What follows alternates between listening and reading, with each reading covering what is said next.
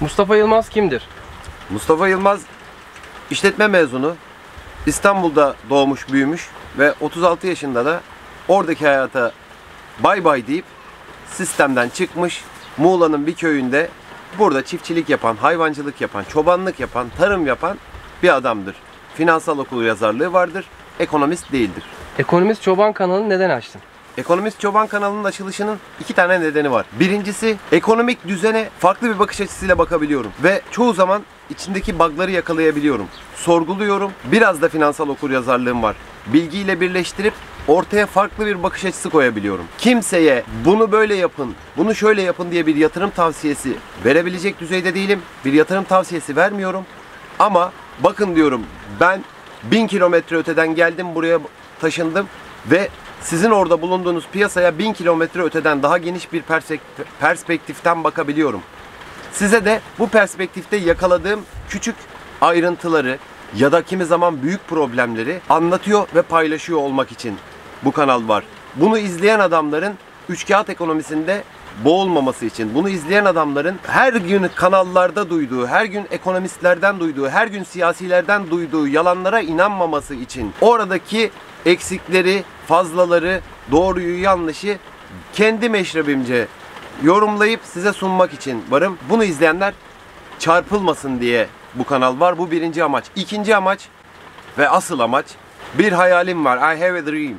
Bir ampute hayvan barınağı.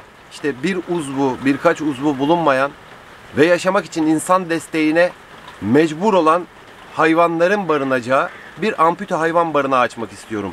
Bu kanalın gelirleri de oraya adanmak üzere bu kanal var. Yani izleyenler bir de bu gözle baksınlar duruma. Tamamen hani kendi menfaatime ya da çıkarıma bir durum yok. Bu kanaldan elde edilecek muhtemel gelirle ampute hayvan barınağını finanse edeceğiz inşallah. Konseptimiz de bu.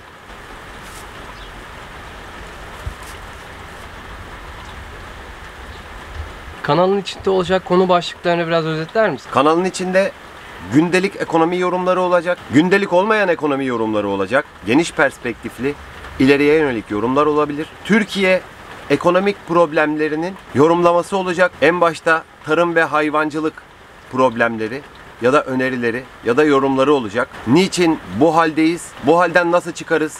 vesaire gibi yorumlamalar olacak ve çoğu zaman şehirdeki insanın bilmediği ama işte burada işin mutfağında yaşanan problemler konuluyor olacak. Onun dışında da genel olarak Türkiye ve dünya ekonomisi, genel olarak emtialar, genel olarak dolar, borsa, forex, özellikle forex, forex hakkında çok ilginç bilgiler veriyor olacağım. Diğerlerinden bir sürü ekonomist var. Bir sürü bu işi yapan YouTuber ekonomist var. Onların söyleyemediklerini ya da söyleyemediklerini söylüyor olacağım. Kitabı açıp içerisindeki rakamları okuyup oradan bir yorum çıkarıp size karmaşık bilgiler sunmayacağım. Ben size kitabın ortasından kendi bildiğimi anlatacağım. Sebep sonuç ilişkisine dayanarak anlatacağım. Bu böyle, böyle olduğu zaman da böyle oluyor ve sonunda da böyle olacak diyeceğim sizin anlayacağınız dilden. Umarım başarırız. Ekonomik bilginin kaynağı nedir? Ekonomik bilgimin kaynağı İstanbul Üniversitesi İşletme Fakültesi mezunuyum. Teorik bilgim, ekonomik teorik bilgim çok derin ya da bir akademisyen boyutunda değil. Fakat piyasanın içerisinde yaklaşık 13-14 senedir bu piyasanın aktif bir oyuncusuyum. Aktif oyunculuk deneyimim ve 13-14 senede kaybettiklerim son 3-4 senede kazandıklarım benim ekonomik bilgimin kaynağıdır.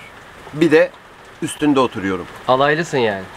Alaylıyım evet. Mektepliyim ama mektep Türkiye'deki mektepler malum. yani ya, evet yani mektepli dilinden değil alaylık dilinden konuşacağım. O zaman bölümleri sabırsızlıkla bekliyoruz. Lütfen takip edelim. Kanala abone olalım. Beğendiyseniz beğene basmayı unutmayın. Kanala abone olup bildirim zilini açmayı unutmayın. Bu ampute hayvan barınağına bir tuğlada siz koymak için lütfen elinizi korkak alıştırmayın. Her türlü yorum ve fikire de açığım. Şunu anlatalım, şunu konuşalım dediğiniz bir şey varsa onu anlatalım, onu konuşalım. Bilmiyorsak öğrenelim, konuşalım. İnşallah hep birlikte güzel şeyler yapacağız.